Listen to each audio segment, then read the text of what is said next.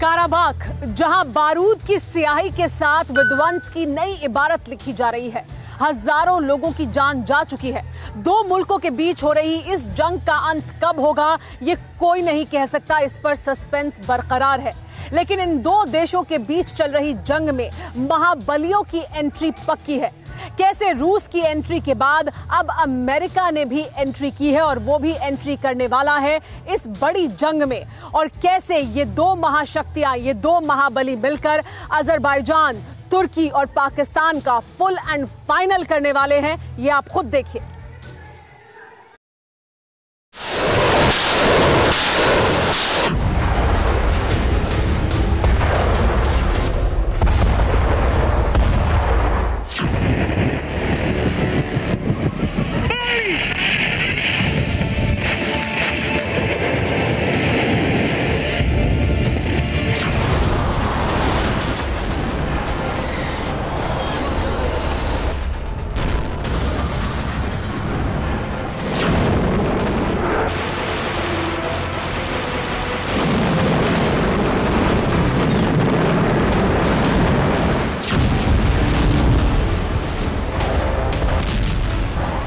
बीते 650 घंटों से काराबाख सुलग रहा है।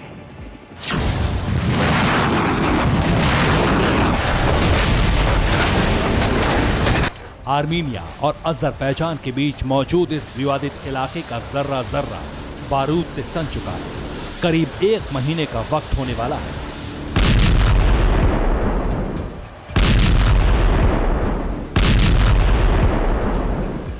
लेकिन यह कहना मुश्किल है कि आखिर दो मुल्कों के बीच जंग कब थमे? कब ये बारूदी संग्राम बंद होगा? कब इस इलाके में युद्ध विराम होगा?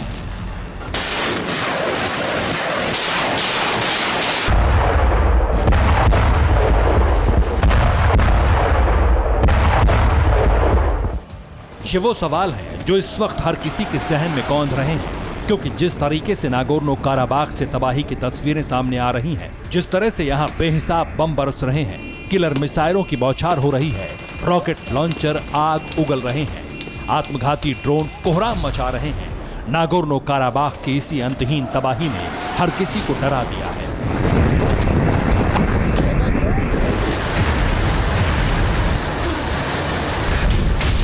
यकीन मानिए काराबाग के जर्रे जर्रे पर मौत की आहट है। वॉर जोन में तब्दील हो चुके इस इलाके में कब गोली सीने को चीर जाएगी? कब आसमान से बरसा बारूद चीथड़े उड़ा दे? ये कहना नामुमकिन है।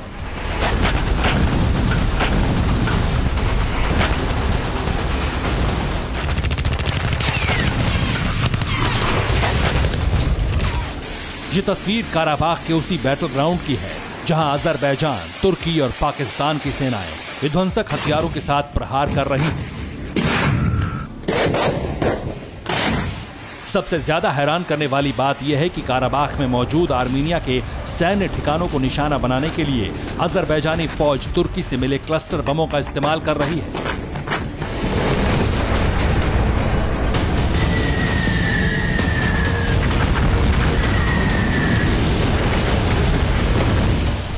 जिस वक्त अजरबैजान ने काराबाग पर अटैक किया ठीक उसी वक्त टीवी नाइन भारतवर्ष के जांबाज रिपोर्टर अभिषेक उपाध्याय भी ग्राउंड ज़ीरो पर मौजूद थे।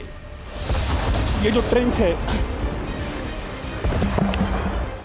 मकसद था विनाशकारी युद्ध की एक एक तस्वीर अपने कैमरे में कैप्चर करना और आप तक पहुंचाना।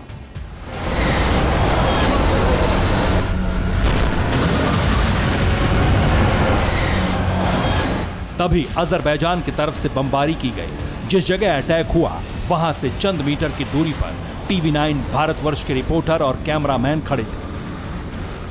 अजरबैजान की ओर से किया गया हमला इतना घातक था कि आर्मीनिया की फौज के साथ साथ हमें भी भागकर बंकर में छिपना पड़ा।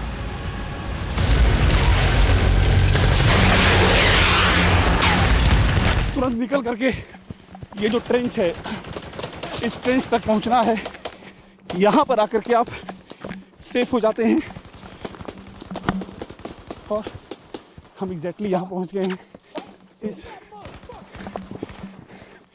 ट्रेंच के पास।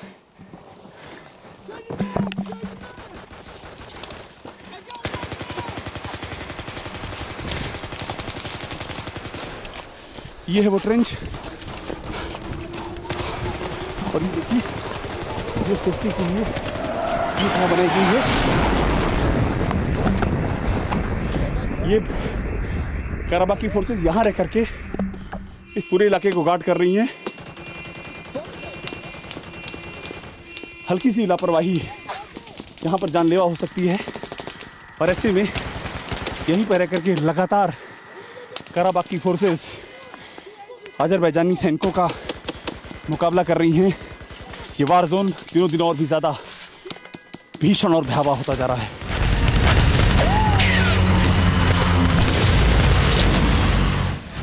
जोखिम को देखते हुए आर्मेनिया के सैनिकों ने हमें बंकर में बैठे रहने की हिदायत दी, लेकिन इस मंजर को देखकर कहीं ना कहीं ये साफ़ हो चुका है कि फ़िलहाल आर्मेनिया और अजरबैजान के बीच युद्ध थमने वाला नहीं है। क्योंकि अब जो खबर सामने आ रही है, उसके मुताबिक दो मुल्कों की जंग में महाशक्तियों की एंट्री हो चुकी है।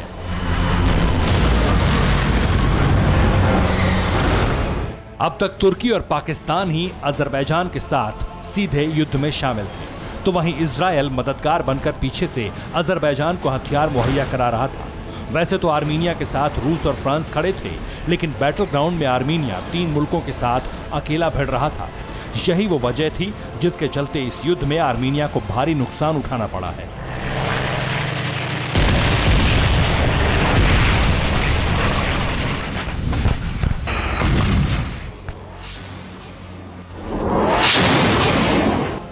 लेकिन सबसे पहले पुतिन आर्मीनिया के साथ खड़े हुए और पुतिन ने आते ही बारूदी कोहराम मचा दिया। लेकिन रूस यूँ ही जंग में नहीं कूदा। इसके पीछे भी कई वजह थी।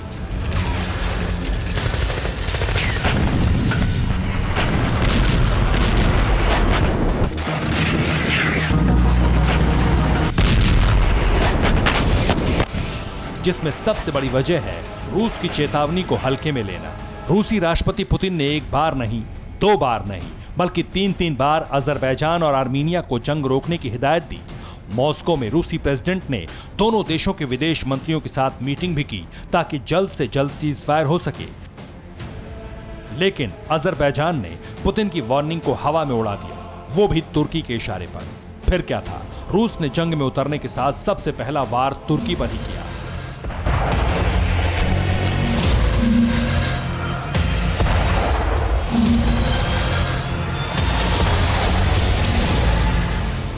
ठीक इसी तरह। अब अमेरिका भी आर्मीनिया और अजरबैजान के बीच युद्ध विराम की पहल कर रहा है। जानकारी के मुताबिक। वॉशिंगटन में आर्मीनिया और अजरबैजान के विदेश मंत्रियों को तलब किया गया है। अमेरिकी विदेश मंत्री माइक पॉम्पियो दोनों देशों के विदेश मंत्री से मुलाकात करेंगे। इस मीटिंग में दोनों देशों पर सीज फायर करने का दबाव बनाया जाएगा। इससे पहले रूस तीन बार दोनों देशों के बीच युद्ध विराम की पहल कर चुका है।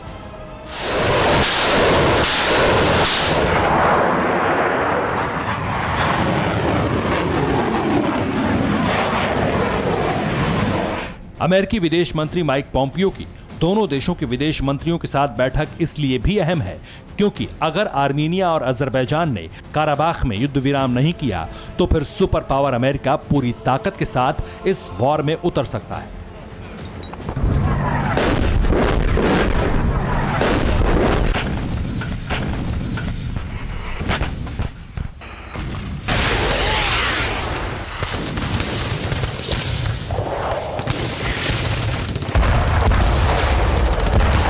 ठीक वैसे ही जिस तरह से महाबली रूस आया है।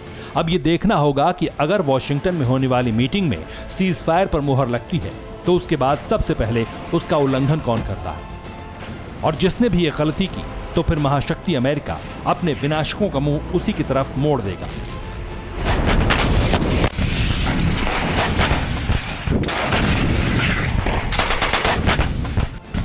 लेकिन जिस तरह से तीनों बार तुर्की के इशारे पर अजरबैजान ने सीज फायर तोड़ा और चंद मिनटों में आर्मीनिया पर रॉकेट लॉन्चर से हमला बोल दिया, ऐसे में मुमकिन है इस बार भी तुर्की के उकसावे में आकर अजरबैजान कोई खौफनाक कदम उठा ले।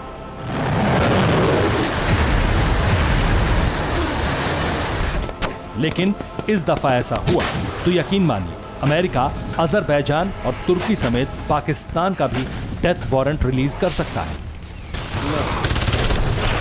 Bureau report, TV nine Bharatvarsh